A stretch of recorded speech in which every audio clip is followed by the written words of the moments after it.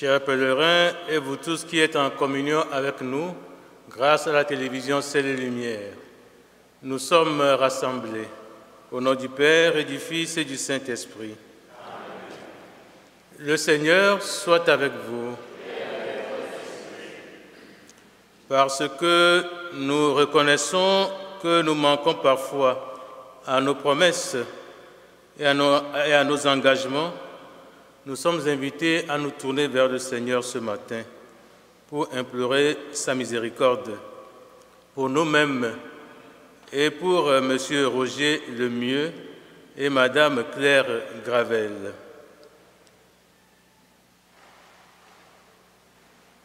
Seigneur, accorde-nous ton pardon. Montre-nous ta miséricorde. Que Dieu tout aimant nous fasse miséricorde, qu'il nous pardonne nos péchés et nous conduise à la vie éternelle. Prions le Seigneur. Dieu qui peut mettre au cœur de tes fidèles un unique désir, donne à ton peuple d'aimer ce que tu commandes et d'attendre ce que tu promets. Pour qu'au milieu des changements de ce monde, nos cœurs s'établissent fermement là où se trouvent les vraies joies. Nous te le demandons par Jésus-Christ, ton Fils, notre Seigneur, notre Dieu, qui vient nous aimer avec toi, le Saint-Esprit, maintenant et pour les siècles des siècles.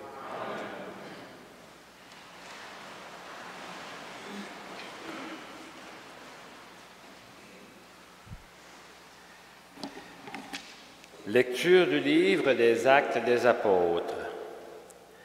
En ces jours-là, à Iconium, il y eut un mouvement chez les non-juifs et chez les juifs avec leurs chefs pour recourir à la violence et lapider Paul et Barnabé.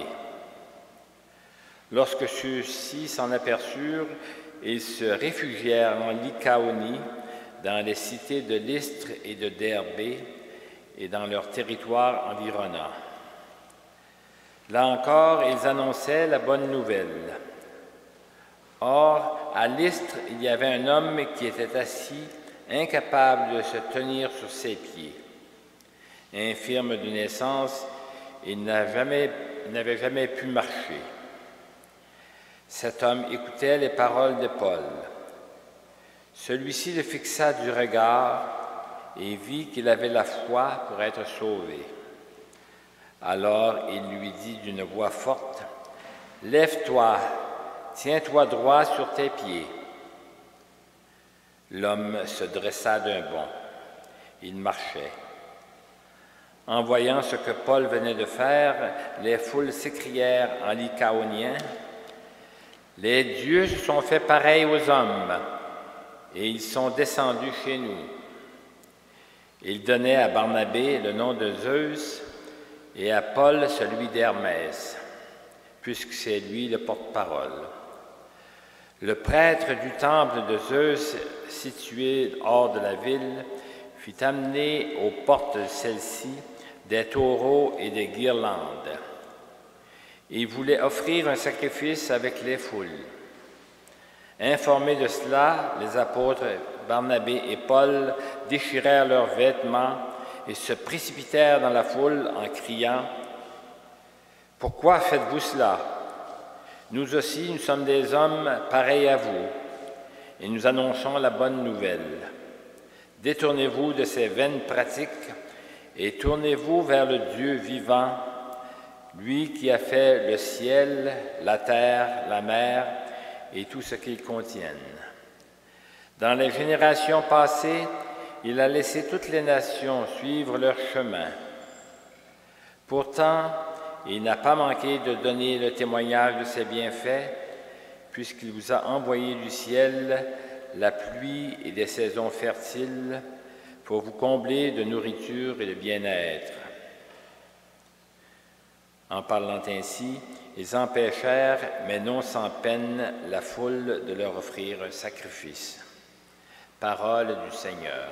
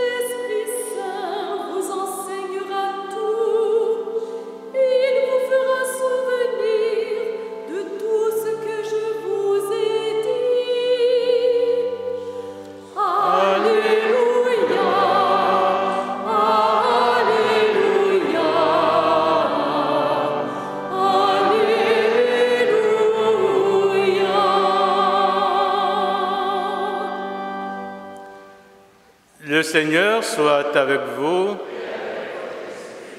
Bonne nouvelle de Jésus-Christ selon Saint Jean.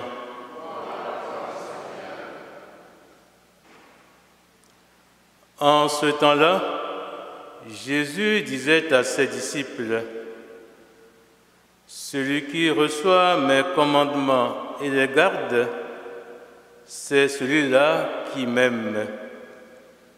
Et celui qui m'aime sera aimé de mon Père. Moi aussi, je l'aimerai et je me manifesterai à lui. Jude, non pas Judas l'Iscariote, lui demanda, Seigneur, que se passe-t-il? Est-ce à nous que tu vas te manifester et non pas au monde? Jésus lui répondit, Si quelqu'un m'aime, il gardera ma parole, et mon Père l'aimera. Nous viendrons vers lui, et chez lui, nous nous ferons une demeure. Celui qui ne m'aime pas ne garde pas mes paroles. Or, la parole que vous entendez n'est pas de moi, elle est du Père qui m'a envoyé. Je vous parle ainsi tant que je demeure avec vous. Mais le défenseur, l'Esprit Saint que le Père enverra en mon nom, lui vous enseignera tout et il vous fera souvenir de tout ce que je vous ai dit. Acclamons la parole de Dieu. Louange à toi, Seigneur Jésus.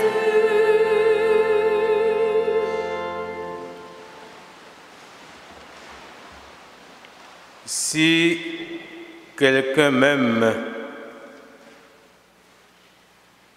il gardera ma parole. Si quelqu'un m'aime, il restera fidèle à ma parole. Mon Père l'aimera et nous viendrons vers lui et chez lui, nous nous ferons une demeure.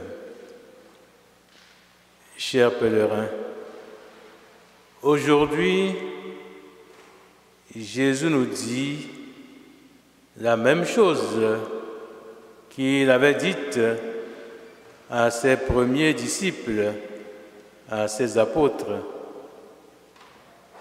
Jésus nous dit que si nous l'aimons, nous garderons sa parole. Nous resterons fidèles à sa parole. Mais comment pourrions-nous arriver à aimer le Seigneur? Si nous ne sommes pas en mesure de réaliser qu'avant tout, c'est plutôt lui qui, le premier, nous aime et nous fait entrer et demeurer dans son amour.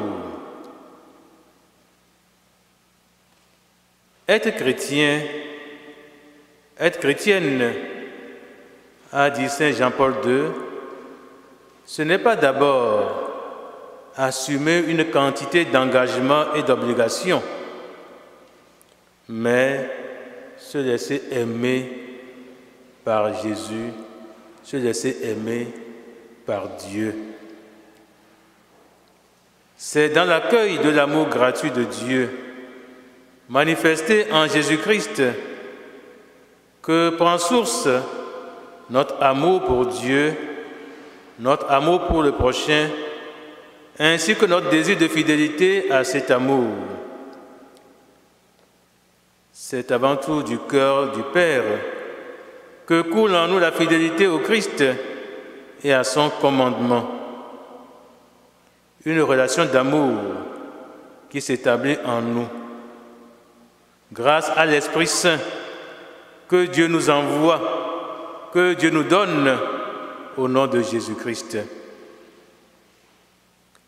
Si nous voulons nous rendre compte de la présence de l'amour de Dieu, mieux, de la présence de Dieu amour en nous, si nous voulons demeurer dans cet amour, et pour que cet amour porte du fruit en nous, Jésus lui-même nous invite à fréquenter sa parole avec assiduité, à la méditer quotidiennement et à laisser notre vie s'imprégner de sa parole. Et c'est l'Esprit Saint qui fait en sorte que la parole de Dieu devienne pour nous une parole de vie. L'aide de l'Esprit Saint nous conduit à vivre pleinement l'amour et la fidélité au Christ en nous récréant intérieurement dans les sacrements. L'Esprit Saint nous rend capables de prier, d'entrer dans un lien d'amour réel avec le Père et le Fils. Oui, c'est l'Esprit Saint qui nous permet de nous souvenir des enseignements reçus. C'est l'Esprit Saint qui nous aide aussi à les mettre en pratique. Comme l'a dit notre pape François, l'Esprit Saint est un ami. Un ami qui se fait chaque jour pour nous compagnon de route. L'Esprit Saint, c'est Dieu en action en nous. C'est Jésus en action en nous. L'Esprit Saint, c'est Dieu qui fait se réveiller la mémoire, la mémoire de Jésus, de tout ce qu'il a dit, de tout ce qu'il a fait mieux, de qui il est. L'Esprit Saint nous aide à faire mémoire. Il est en nous force dans nos faiblesses et volonté de vaincre nos réticences et nos craintes. Et c'est ce que Jésus a demandé pour tous ses disciples, nous compris. Chers pèlerins, demandons la grâce de nous habituer à la présence de l'Esprit Saint, ce compagnon de route, de ce témoin de Jésus qui nous dit où est Jésus, qui nous dit comment trouver Jésus, qui nous dit ce que Jésus nous a dit, qui nous rappelle tout ce qu'il a fait et qui y est pour nous. Et surtout, c'est l'Esprit Saint qui nous permet de vivre dans l'amour du Père et du Fils. Au nom du Père et du Fils et du Saint-Esprit.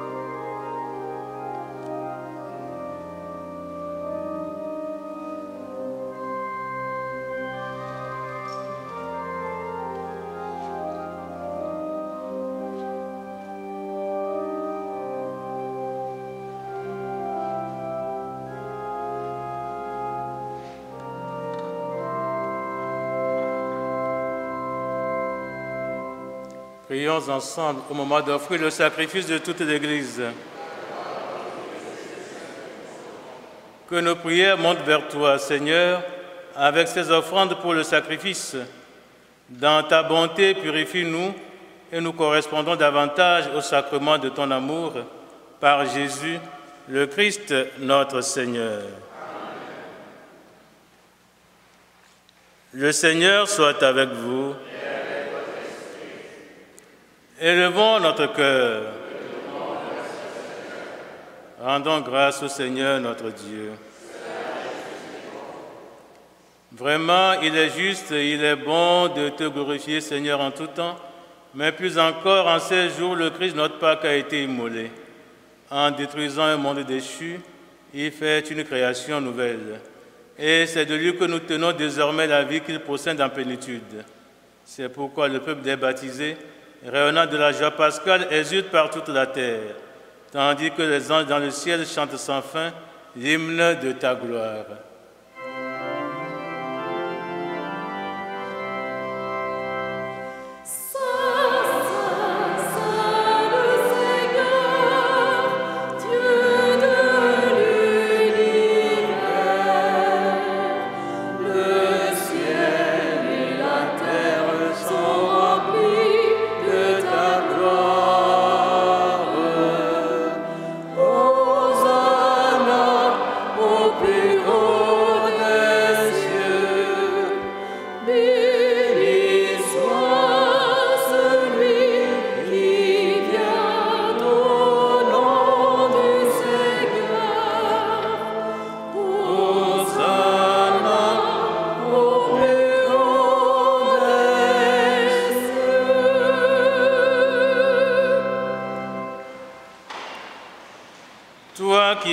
Saint, toi qui es la source de toute sainteté, Seigneur, nous te prions. Sanctifie ces offrandes en répandant sur ton esprit, qu'elles deviennent pour nous le corps et le sang de Jésus, le Christ, notre Seigneur. Au moment d'être livré et d'entrer librement dans sa passion, il prit le pain. Il rendit grâce, il le rompit et le donna à ses disciples en disant, Prenez et mangez-en tous. Ceci est mon corps livré pour vous.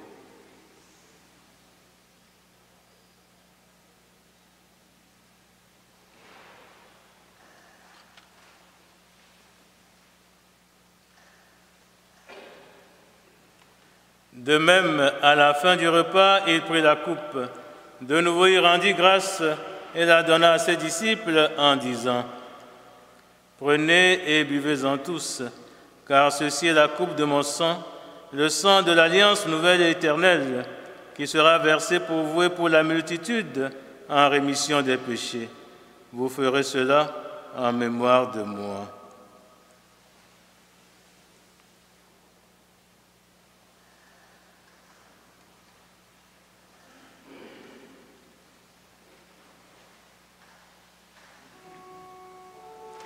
Il est grand le mystère de la foi.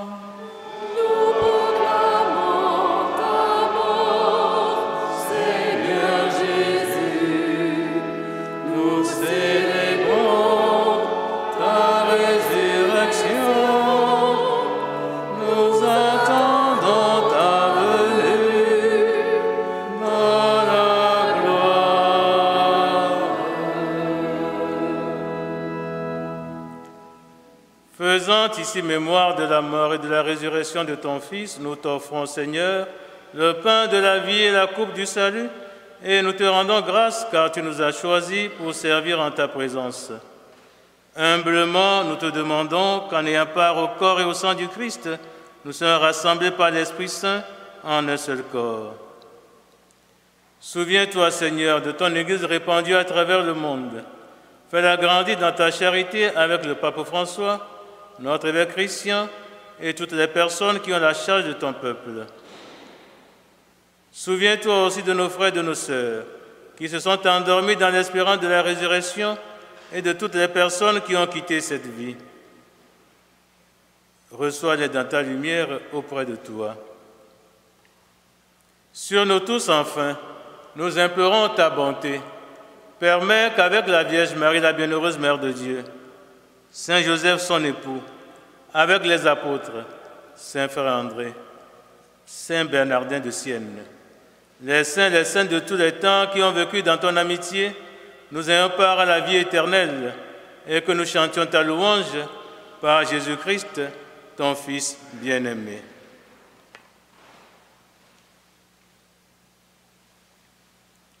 Par lui, avec lui et en lui, à toi Dieu le Père Tout-Puissant, dans l'unité du Saint-Esprit, tout honneur et toute gloire pour les siècles des siècles.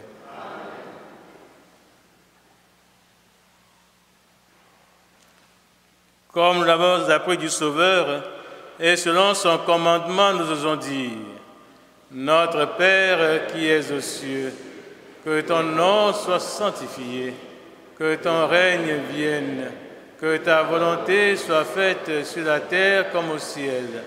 Donne-nous aujourd'hui notre pain de ce jour. Pardonne-nous nos offenses, comme nous pardonnons aussi à ceux qui nous ont offensés. Et ne nous laisse pas entrer en tentation, mais délivre-nous du mal. Délivre-nous de tout mal, Seigneur, donne la paix à notre temps. Par ta miséricorde, libère-nous du péché, rassure-nous devant les épreuves en cette vie, où nous espérons le bonheur que tu promets et l'avènement de Jésus-Christ, notre Sauveur.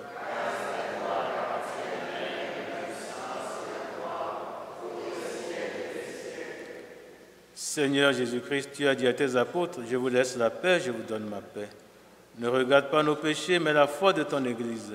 Pour que ta volonté s'accomplisse, donne-lui toujours cette paix et conduis-la vers l'unité parfaite, toi qui nous aimes pour les siècles des siècles. Que la paix du Seigneur soit toujours avec vous. Dans la charité du Christ, donnez-vous la paix.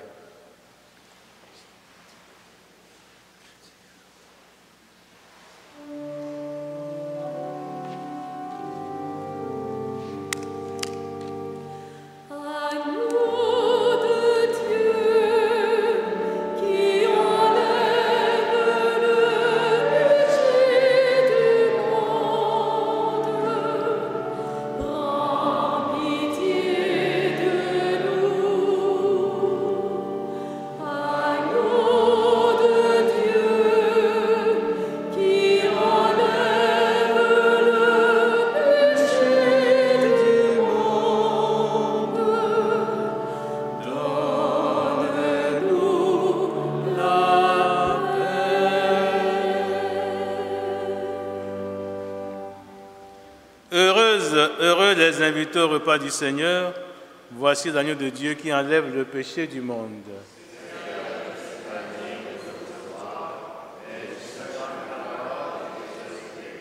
Que le corps du Christ nourrisse en nous la vie éternelle.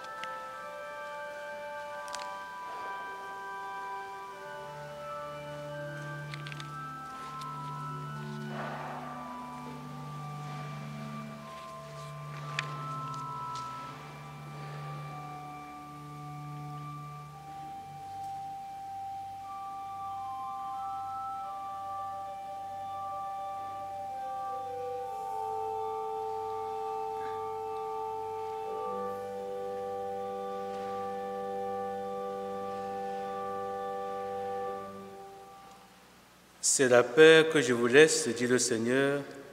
C'est ma paix que je vous donne. Ce n'est pas à la manière du monde que je vous la donne. Alléluia. Prions ensemble le Seigneur.